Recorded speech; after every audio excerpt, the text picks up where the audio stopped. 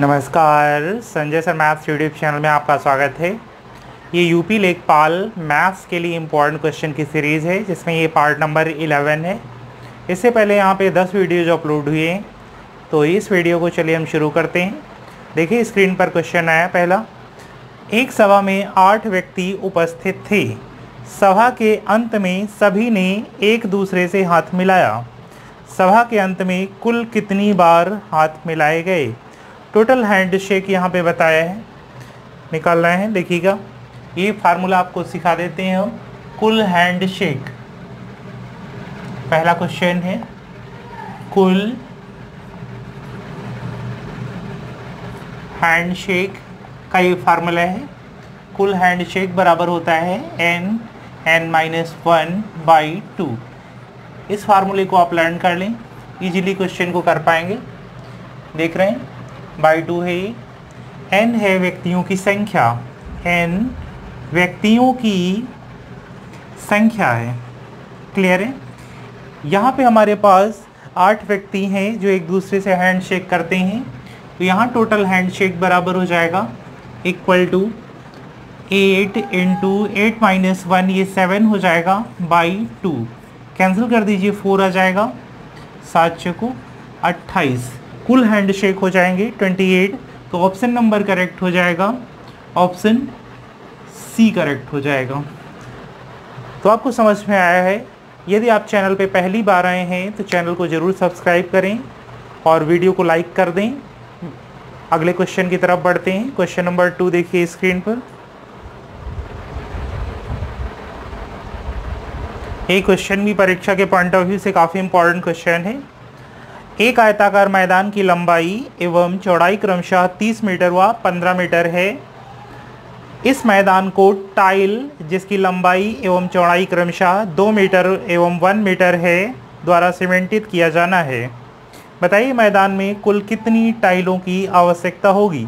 तो यहाँ पे हमें निकालना है एक मैदान है, जिसकी लंबाई 30 मीटर, चौड़ाई 15 मीटर है। और tile two is to one के फॉर्म में कितनी टाइल्स यहाँ पे बिछाई जाएँगी, ये हमें फाइंड करना है। तो ये फार्मूला आप देख लें टोटल टाइलों की संख्या। क्वेश्चन नंबर ये टू है। टाइलों की संख्या।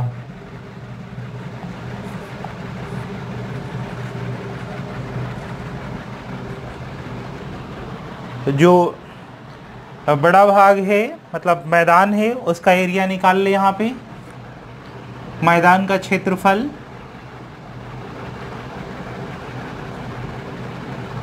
मैदान का क्षेत्रफल एरिया मीन्स और एक टाइल का क्षेत्रफल, एक टाइल का क्षेत्रफल। देख लें यहाँ पे टोटल टाइलों की आवश्यकता कितनी होगी? तो एरिया बराबर होता है लंबाई इंटू चौड़ाई।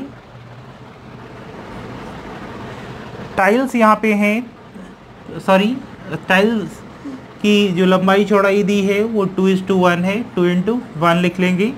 लंबाई चौड़ाई तीस मीटर इंटू पंद्रह। दो से डिवाइड कर दें, यहाँ पे कितना आ जाएगा? पंद्रह।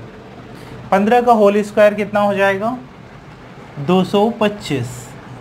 तो कितनी टाइलों की ज़रूरत पड़ेगी हमें? दो सौ पच्चीस टाइलों की आवश्यकता होगी। ऑप्शन नंबर करेक्ट हो जाएगा इसमें। ऑप्शन डी करेक्ट होगा। तो चलिए नेक्स्ट क्वेश्चन देख लेते हैं। क्वेश्चन नंबर ये टू था। क्वेश्चन थर्ड देखते हैं।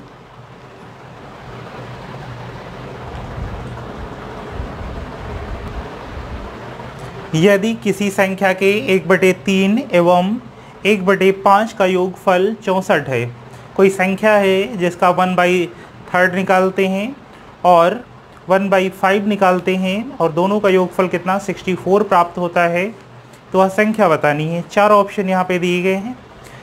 वन थर्ड, वन फिफ्थ निकालने के लिए थ्री और फाइव से डिविजिबल हमने कोई नंबर मान लिया। तीन और पाँच से डिविजिबल ऐसा कौन सा नंबर होगा? पंद्रह होगा। दोनों ही कैसे नंबर हैं, प्राइम नंबर हैं? तो हमने मान लिया कोई संख्या है, वह संख्या 15 मान ली, कितनी मान ली है? फिफ्टीन यूनिट है। तो यहाँ से वन थर्ड अगर करेंगे इसका तो वन थर्ड हो जाएगा, तीन पचे पंद्रह, पाँच हो जाएगा। और वन फिफ्थ करेंगे, पाँच से डिवाइड करें, तीन आ जाएगा। तो आपने देखा यहाँ पे अगर हम वन थर्ड कर रहे हैं तो फिफ्थ आ जाएगा। वन फिफ्थ कर रहे हैं तो कितना? थ्री आ जाएगा। इन दोनों का योगफल कितना दिया है? चौंसठ है। ये पंद्रह यहाँ पे रियल नंबर नहीं है। हमने अपनी तरफ़ से मान लिया। पंद्रह भी मान सकते हैं, तीस मान सकते हैं। पाँच और तीन से डिविजिबल नंबर तीस मान सकते हैं, साठ मान सकते हैं। जो भी आपका मन करे। तो पाँच और तीन से डिविजिबल नंबर होना चाहिए। तो पाँच, तीन, आठ यूनिट हमने मान लिया, ये टोटल इकाई हमने मानी थी, संख्या पंद्रह यूनिट एट यूनिट बराबर है टोटल संख्या चौंसठ की तो एक यूनिट बराबर हो जाएगा, आठ से डिवाइड कर दें, चौंसठ बटे आठ आठ अठे चौंसठ. एक यूनिट बराबर संख्या कितनी है? आठ है. तो हमारा जो रियल नंबर हमने मान रखा है, वो कितना है? पंद्रह यूनिट माना है. तो पंद्रह यूनिट बराबर हो जाएगा पंद्रह इंटू आठ। पंद्रह अठे एक सौ बीस। तो आपने देखा एक सौ बीस, ये करेक्ट आंसर है। या तो फ्रैक्शन मेथड से आप इसको जोड़ लें, वो भी ठीक है तरीका, लेकिन ये थोड़ा ज़्यादा आसान है। तो ऑप्शन नंबर करेक्ट हो जाएगा इसमें। ए ऑप्शन करेक्ट होगा। तो आपने देखा यहाँ पे कौन सा ऑप्शन ए करेक्ट है। 120 इज़ द राइट आंसर अगला क्वेश्चन स्क्रीन पे देखिए अगला क्वेश्चन एक व्यक्ति ने 30 परसेंट सॉरी 3 परसेंट चक्रवृद्धि ब्याज की दर से, वार्षिक दर से दो वर्ष के लिए दस हज़ार रुपये उधार लिया। दो वर्ष पश्चात उसे कितने रुपए चुकाने पड़ेंगे? यहाँ पे आपको मूलधन दे रखा है दस हज़ार रुपये और दो साल का टाइम दे रखा है टाइम ड्यूरेशन और रेट ऑफ़ इंटरेस्ट दिया है थ्री परसेंट सी आई पर एनम तो आपको निकालना है अमाउंट मिश्र धन कितना हो जाएगा? दस हज़ार रुपये कितना हो जाएगा? तो देखें स्क्रीन पे क्वेश्चंस दस हज़ार रुपये है, ये चौथा क्वेश्चन है। दस हज़ार रुपये अगर हम पहले साल का ब्याज निकालें तो कितना निकलेगा? तीन परसेंट। तीन परसेंट। ये आ जाएगा तीन सौ रुपये ये तीन सौ रुपये है सी आई या S I for the first year पहले साल में हमें ब्याज कितना मिल रहा है? तीन सौ रुपये मिल रहा है। आपको समझ में आ रहा है? पहले साल का जो ब्याज होगा, वो साधारण ब्याज भी होगा और चक्रवृद्धि ब्याज भी होगा। अगले साल में सेकेंड ईयर की बात कर रहे हैं, उसमें ब्याज पर ब्याज लगेगा। तीन सौ रुपये तो होगा ही होगा और एक्स्ट्रा जो ब्याज लगेगा, वो भी वहाँ पे होगा। देखिए फ़र्स्ट ईयर की लिए तीन सौ हो गया तो सेकेंड ईयर के लिए तीन सौ रुपये तो ये रहेगा प्लस ब्याज इस पर लगेगा। कितना परसेंट तीन परसेंट तीन सौ का तीन परसेंट कितना हो गया? तीन तरफ़ को नौ नौ रुपये हो गए। तो टोटल सीआई दो साल का, दो वर्ष का सीआई कितना हो जाएगा? तीन सौ तीन सौ कितना? छ सौ नौ। ये आ गया छ सौ नौ। हमें निकालना है मिश्र धन तो आप ऐड कर लें। अमाउंट इक्वल टू होता है प्रिंसिपल प्लस सी आई ये दिया है दस हज़ार रुपये प्लस छः सौ नौ रुपये यहाँ पे ऐड कर लें। छः सौ नौ। ये हो जाएगा दस हज़ार छः सौ नौ। आपने आप देखा है ये चक्रवृद्धि मिश्र धन है। टोटल रुपीज़ आ गए दस हज़ार छः सौ नौ। ऑप्शन नंबर करेक्ट हो जाएगा इसमें। A option A option is the right answer दस हज़ार छः सौ नौ। तो आपको क्लियरली समझ में आया होगा। देखिए, पहले साल में जो साधारण ब्याज होता है, वही चक्रवृद्धि ब्याज भी होता है, क्योंकि मूलधन सेम होता है। सेकेंड ईयर में ब्याज पर ब्याज लगता है। तो फ़र्स्ट ईयर का जितना यहाँ पे था, उतना तो मिलेगा ही। ब्याज पर ब्याज। मतलब ब्याज था, उस पर भी ब्याज नौ लगा तो टोटल कितना? 309 सेकेंड ईयर में मिलेगा। टोटल हो गया 609 अमाउंट इक्वल टू होता है principal plus C I add कर दिया। तो चलिए हम नेक्स्ट क्वेश्चन देखते हैं।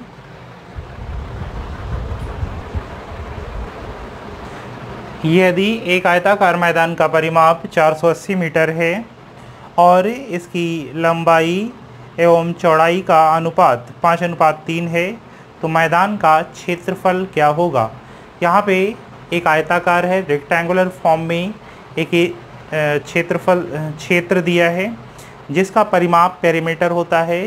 सभी भुजाओं का योगफल परिमाप कहलाता है। परिमाप बराबर आयत का होता है two into L plus B, जो कि यहाँ पे 480 मीटर दिया है, और लंबाई चौड़ाई का रेशियो दिया है फाइव इस टू थ्री। तो मैदान का क्षेत्रफल निकालना है। तो सबसे पहले परिमाप हम आपको फिगर के माध्यम से समझाते हैं।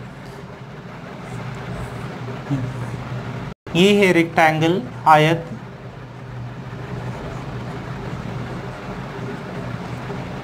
ये लंबाई है और ये चौड़ाई है। हमने सामने की लंबाई इक्वल होती है, चौड़ाई भी इक्वल होती है। यहाँ पे चारों शीर्ष कोण 90 90 डिग्री के होते हैं। आयत है, इसका परिमाप बराबर होता है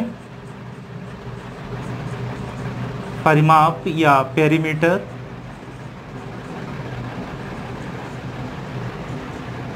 two into L plus B perimeter यहाँ पे दिया गया है 480 तो हम पुट कर लेते हैं। टू इंटू लंबाई चौड़ाई का रेशियो आप देख रहे हैं स्क्रीन पे फाइव इस टू थ्री दे रखा है। तो ये है पाँच रेशियो प्लस तीन रेशियो यहाँ से 480 इक्वल टू टू इंटू पाँच, तीन, आठ रेशियो सॉल्व कर लिए आठ छः अड़तालीस, साठ हो जाएगा। दो से काट दें, तीस। तो ये वन रेशियो बराबर हो गया थर्टी क्लियर हो गया। तो लंबाई हमारी हो जाएगी। लंबाई का रेशियो है फाइव रेशियो तो फाइव इंटू तीस। 150 मीटर यहाँ पे लंबाई हो जाएगी तो चौड़ाई हो जाएगी तीन रेशियो बराबर तीन इंटू तीस। नब्बे मीटर। हमें फाइंड करना है यहाँ पे एरिया तो एरिया बराबर होता है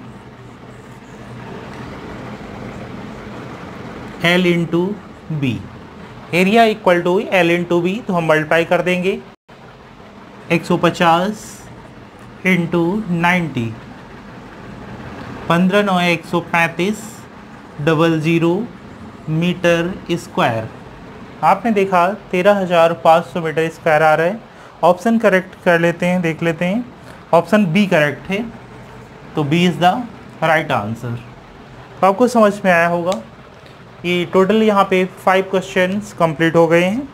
कोई भी क्वेरी होती है तो Sanjay sir maths Telegram group पर आप क्वेश्चन वहाँ पे सेंड करें और ज्वाइन करें। Sanjay sir maths Telegram channel यदि कोई क्वेरी होती है तो वहाँ पे आप सेंड कर सकते हैं।